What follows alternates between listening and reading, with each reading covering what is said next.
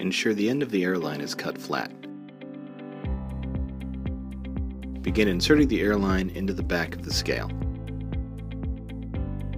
Resistance will increase before the airline is fully inserted. Push the airline into the scale a second time to ensure it is fully inserted, and pull back on the airline to ensure that the barbs are properly engaged. Your airline is now connected.